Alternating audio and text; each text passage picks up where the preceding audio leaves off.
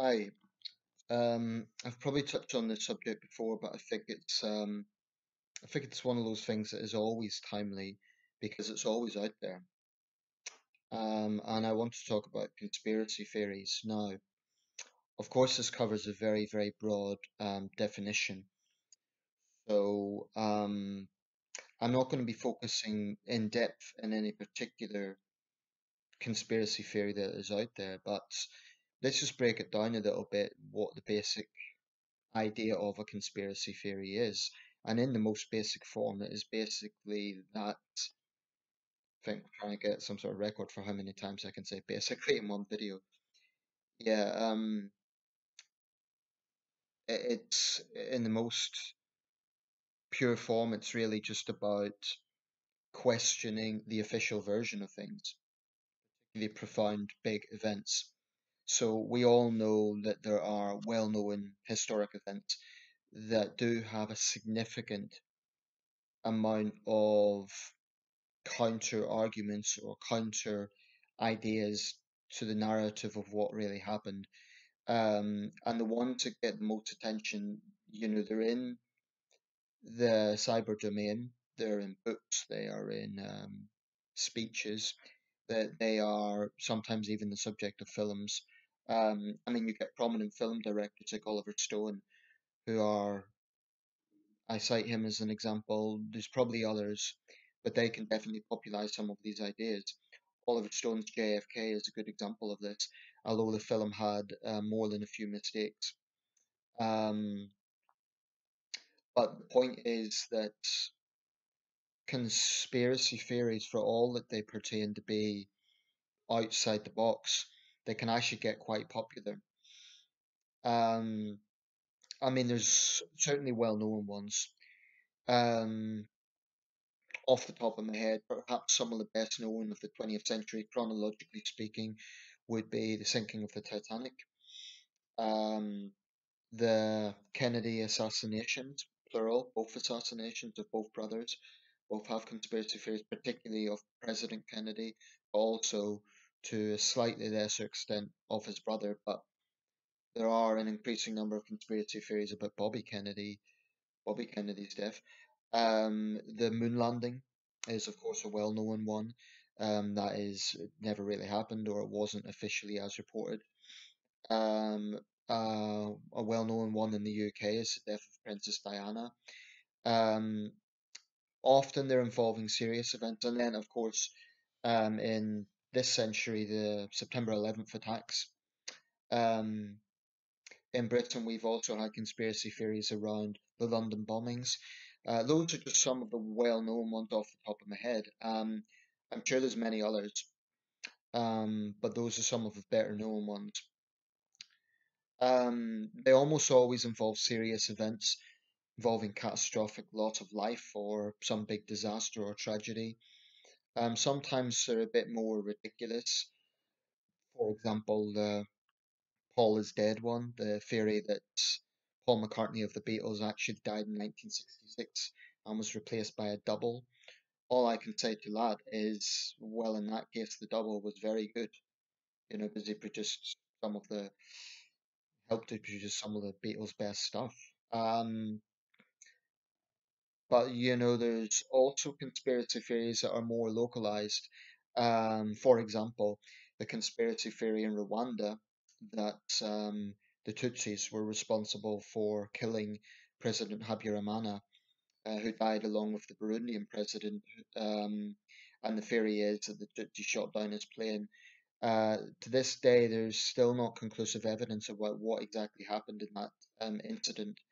But regardless, whether it was fact based or not, the Hutu extremists used that as an excuse. They said that the Tutsis killed their president under the false guise of a peace agreement um, at the Arusha Accords in Tanzania.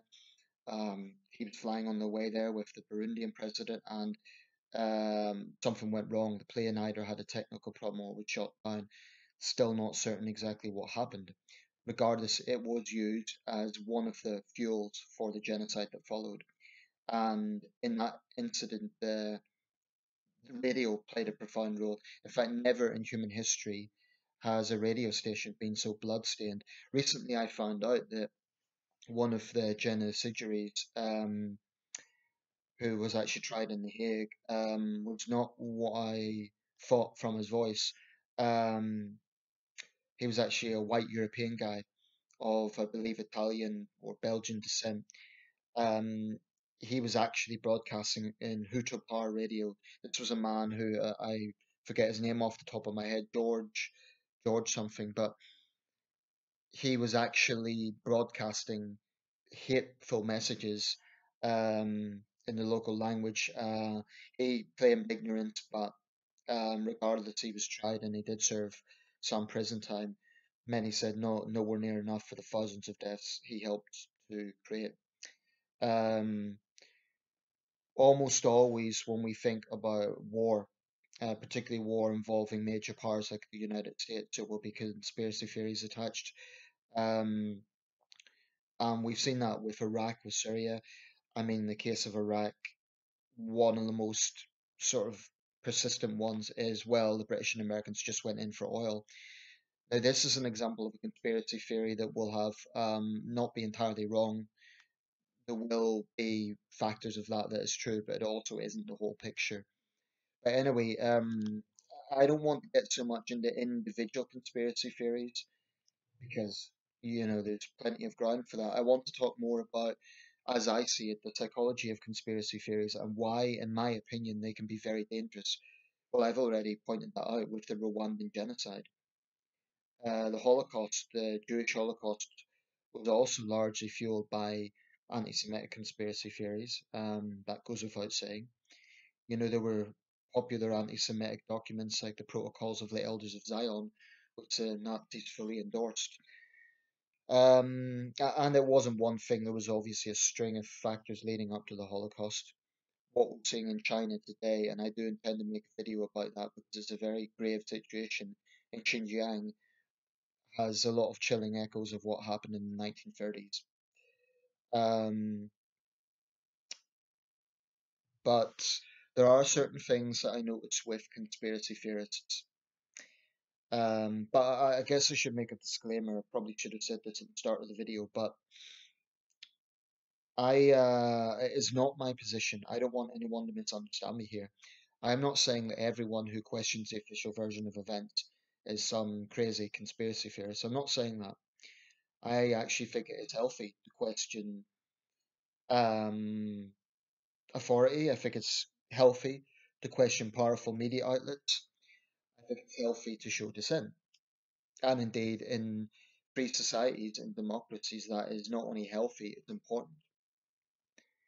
So I wouldn't, for example, vilify someone as a conspiracy lunatic just because they ask questions of the official event in of itself. Um, where I do have a problem though, and where I feel it becomes problematic, is when conspiracy theorists will see everything, everything as a conspiracy. You can literally show them facts. You can literally show them evidence, and they will be so entrenched by the view that it's all part of the new world order or the government or whatever, whatever it is they see things as.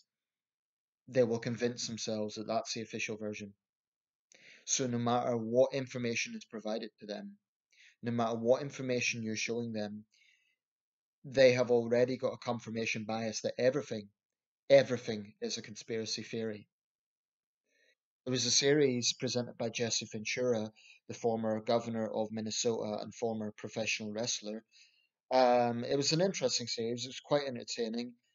I had mixed views on it. I found um, Ventura a bit arrogant because he kind of played up his tough guy role and he used to do things like say, "Are you going to refuse a former governor entrance and stuff?" And the problem with that show was it was a bit sensationalist. Um, and a lot of the things that they were talking about, they were not presenting the whole picture to it. Even Jesse Ventura questioned some of the more outlandish ones. For example, the reptilian shapeshifter nonsense that has been promoted by David Icke. Now, the thing is, it's um, it's easy to dismiss conspiracy theorists, but what's not so funny is some of these guys and they're often men, but not always women as well. I've just come across one such person, and she was actively saying that everything bad we're hearing about China is just part of the Americans' plot to keep their power. So it's all made up, you know. Um, but what what these guys, um, people like David Icke, and uh, an example I would cite is Alex Jones. It's easy to dismiss them, but they actually do have a lot of support.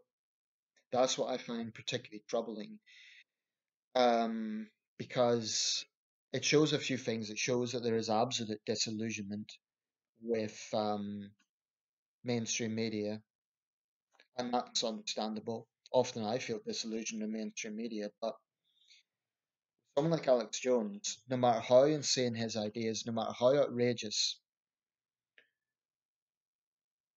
there there are some people who laugh at him, but there are many others who really, really do endorse his way of thinking.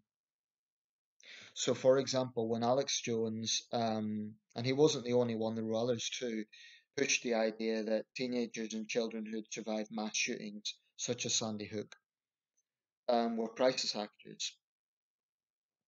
Now, in my view, that was beyond despicable. Um, beyond despicable. Callous in the extreme to actually insult and smear survivors of an atrocity in that way. I saw it to a lesser extent when we suffered Islamist attacks in this country in recent years. Um, there are videos floating around, for example, claiming that survivors of the London Bridge attack were crisis actors. These people seem to come out of the woodwork when it's convenient. The, the conspiracy theorists, I mean. But that's an example of where it's not healthy, where it's not just asking questions of authority, is being openly callous people who survive these things. I feel that way about 9 11 truthers. When they say that it's all made up, or, you know, that they, don't all fit into the same, they don't all use the same narrative. So someone was, will say, yeah, there was indeed a big attack, um, it was an inside job. But then you get things like, well, what about the the fake plane that was shot down and stuff like this? To me, that is um, incredibly callous towards the surviving family members. And they'll, they'll nitpick, they'll say, for example, they'll take audio of the airline stewardesses on those flights and they'll say, oh, well, they sound too calm for a supposed terrorist attack. Um, uh, and hold that up as somehow evidence that it never happened. That there was no one on the plane or they were all actors, which I think is beyond despicable. Um, I'm not going to say that everything's clear cut about September 11th, but I, I think I would say this about conspiracy theorists or two conspiracy theorists. It's one thing questioning the government, but when you're actively trolling families, grieving families, I think that is just beyond the pale. I think it's repugnant. Uh, the Westboro Baptist Church, of course, gained notoriety for boycotting military funerals because of their extreme homophobia. Um, they were, of course, a cult, but what I find with conspiracy theorists again um, is that there is this there's certain things that you notice. So one thing I've noticed is this cannot be pinned on the left or the right because you can find it on both sides. I would say most followers of Alex Jones tend to be pretty far right, or at least well to the right for example, with the crisis actors things, they tend to be militant Second Amendment advocates, often militia types, but not universally. Um, but then you get left wing conspiracy theories as well, you know, where their whole thing will be, oh, it's all about American power. So they will actively serve as propagandists and cheerleaders for the Russian and Chinese regimes just because they're anti American my my answer to that is it's not one or the other. I think it's possible to criticize American foreign policy or even be critical of American foreign policy without acting as an apologist for um, the Chinese or Russian regimes. And the thing is, sometimes you get individuals who were quite well respected and they were intelligent um, experienced individuals, but then for whatever reason they started going down this rabbit hole of aligning themselves to some of these ideas. An example would be the journalist um, John Pilger. Now he was a widely respected journalist, you know, years of field experience, uh, very hardworking, very tireless. In recent years, he has become very much. It's it's become obvious that he's blurred the lines between investigative journalism and basically being a propagandist for the Kremlin. It's honestly how it comes across to me, uh, and there's other examples. Um, and that's troubling because when you get a respected individual, they can't just be so easily dismissed. And it's not because they're right. Um, I think he's dead wrong, but it's because when you have a reasonable voice, more likely more people are likely to buy into it. They'll think, "Oh well, it's John Pilger, it must be true." So I think it's actually pretty despicable. And by the way, what I'm talking about is the fact that he has actively worked for Russian state-funded broadcasters like RT, and he has actively pushed and endorsed Kremlin's narrative on a lot of things. It's not a case of, oh, well, he's critical of American power, which, I mean, Pilger's always been to the left, but nothing wrong with that. There's nothing wrong with um, questioning militarism or anything like that. But there is a problem with it when you are so determined to expose how evil America is that you will actively help to promote the propaganda of other powerful regimes. Um, that's what I find frankly despicable. Um, and we see this with Bashar Assad in Syria as well. You know, people so, mm, and uh, uh, the interesting thing about Assad and Putin for that matter is they get support from both the far left and the far right for different reasons. With the far left, the likes of the Stop the War coalition, it's because they say only Western militarism, they say only NATO militarism, and they're incapable of acknowledging that there is other powerful players. Um, therefore, if NATO responds with force to a brutal dictator slaughtering his own people and raining barrel bombs on children, the Stop the War coalition and pro Assad conspiracy theorists will actively lie for him. They will actively say, oh, he's just a good guy fighting terrorists. I think that might be the biggest lie of the 2010s decade, in fact, in terms of scale, because it's been effective. Assad's got the upper hand, and when you look at the tentacles of Russian state media, which are pretty powerful, um, you can see why people believe this you know, the reality of a brutal dictator um, doing anything he can to stay in power, including ma- mass murder, um, combined with vicious Islamists as well on the ground. That, that's the reality of it. The reality of the Syria war is there is a lot of um, factors involved. There is a lot of um, combatants. It's not a simple black and white thing of an embattled president fighting terrorists and it is so so grotesque that people spin it that way. But with conspiracy theorists, like I say, there is that callous side when grieving families are targeted. Um, so this thing where conspiracy theorists think that they're brave revolutionaries, you know, holding truth to power. Um, the other thing about them is they tend to be very arrogant and self-righteous. I mean, they think that they alone seem to know the truth, but the rest of us are idiots. Um, so I think there's an arrogant side to that as well.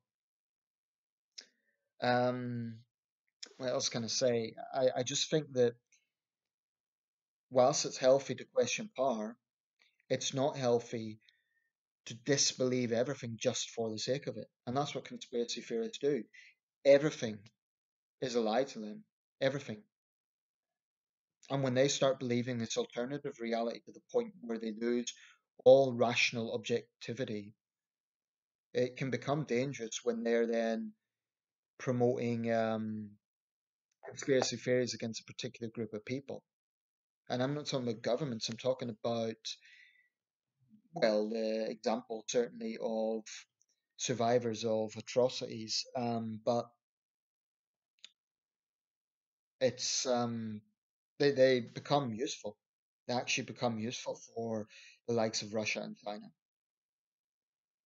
And they always they always do it within the context of Western countries. You know, they're always doing on Facebook or YouTube or they'll be railing against the New World Order, controlling all our brains. Of course, one of the most prominent ones this year is the the anti-coronavirus conspiracy theories. That is to say, you know, it's all caused by uh, mobile phone technology, or it's all a plot for population control. You know, the anti-mask people are a prominent example of this. So I do think that, uh, and that, that's dangerous because with them being reckless, it puts the rest of us at risk. So uh, I think conspiracy theories can be interesting. I mean, goodness knows, I've watched plenty of documentaries about the alternative version of history. It's interesting stuff. It's undeniably interesting.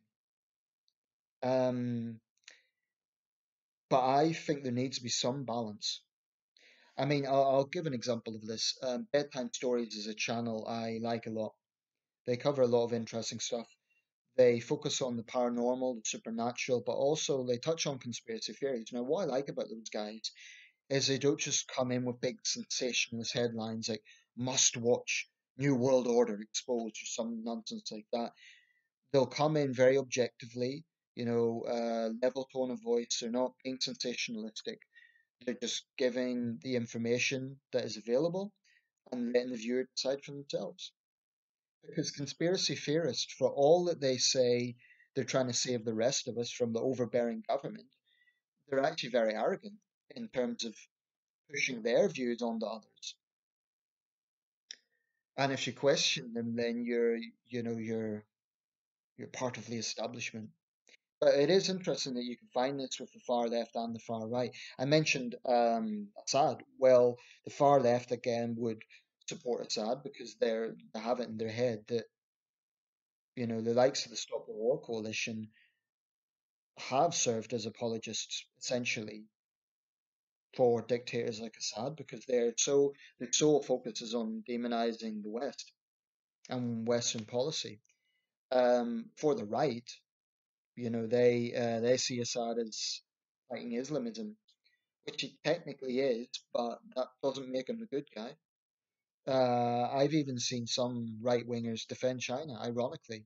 Right wingers defending a communist regime because said communist regime, their victims, in this case the Uyghurs, happen to be Muslims.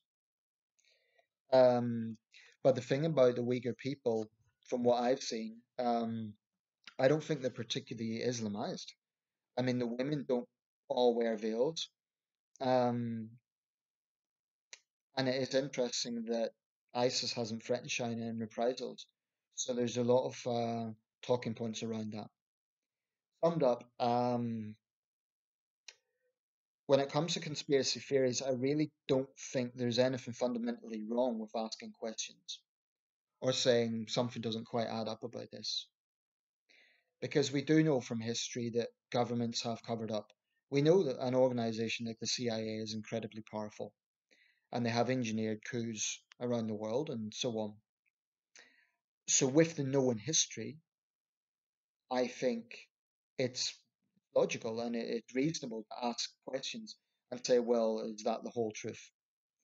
The problem becomes when the conspiracy theorists just want to vindicate themselves. They don't really care about the truth, they just want to vindicate themselves. So they will find any angle to distort anything to suit their narrative, including being useful idiots for hostile foreign regimes that have no respect for dissenting views, that have no respect for a free press, that have no respect for um, human liberty. They will actually serve as apologists for these regimes. So that's another contention I have with certain conspiracy theorists that they are hypocrites. Their whole thing is about freedom of thought and human liberty. You know, that tends to be the overriding theme that they're all about liberty and about stopping evil, you know, world order from controlling people and so on. Yet they they will actively defend hostile foreign regimes. So I have more respect for the ones who may be critical of say the American government or the British government, that's fine. But they at least balance it with, okay, but we know well, we're not going to serve as cheerleaders for the CCP. The problem is some of these people will actively, for example, try to pretend, try to imply that China is somehow a victim in the current situation. Uh, because oh, it's just because the Americans don't want the Chinese to take over. Um, that's part of it. But they just totally ignore the fact that this is, in fact, a very brutal regime that has repressed a lot of people, and there's verifiable independent evidence to show that. Of course, I disregard evidence. So um, that's my take.